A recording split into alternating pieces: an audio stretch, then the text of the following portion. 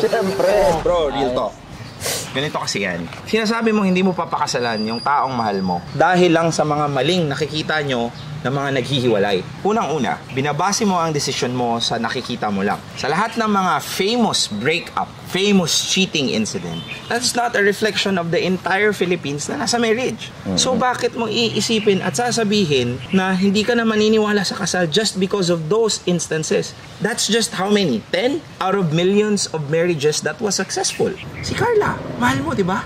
At ang dahilan lang kung bakit hindi mo siya papakasalan, eh dahil nakikita mo sa TV ngayon yung mga unsuccessful marriages, kaya hindi mo na siya papakasalan, that's just because of that? Tama ba?